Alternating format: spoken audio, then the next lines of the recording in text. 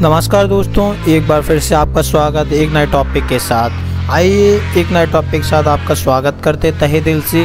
समय से पहले माथे में झुरिया आ जाना आपको बड़ा ही अचंबा कर देता है कि हमारी उम्र नहीं हुई, हमारे चेहरे पर झुर्रियाँ आ जाती, ये आपको परेशान करते पर दोस्तों, आइए हम जानते हैं इसका रीज़न क्या है? ये झुर्रियाँ क्यों चेहरे पर आ रही हैं? तो जानते हैं दोस्तों, आपको जानकारी के लिए बताते हैं कि ये दिल की गंभीर बीमारी का संकेत हो सकता है। दोस्तों, आप सोच रहे होंगे कि माथे की झुर्रियाँ का दिल की बीमारियों से क्या संबंध होगा?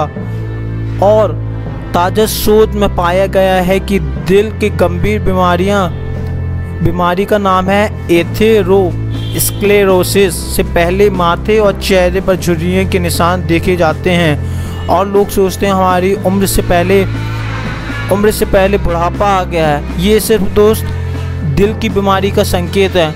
दोस्तों, आपको बता दें कि दरअसल उम्र से पहले अगर माथे पर चेहरे या झुर्रियाँ आ जाती हैं, इसके कई कारण हो सकते हैं। आपको जानकारी के लिए बता दें, जिनमें से एक दिल की घातक बीमारी है, एथेरोस्क्लेरोसिस। दोस्तों, आपको बता दें कि ऐस, एक ऐसी बीमारी है, जिसमें धमनियों में प्लाक जम जाने से उनका लचीलापन खत्म हो जाता है और वो संक्रिय होने लगती है।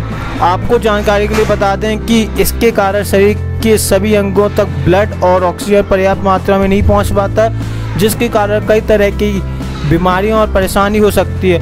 इसी कारण से आपकी शरीर पर झुर्रियाँ आ जाती है। उम्मीद है दोस्तों, आपको जानकारी पसंद आई होगी।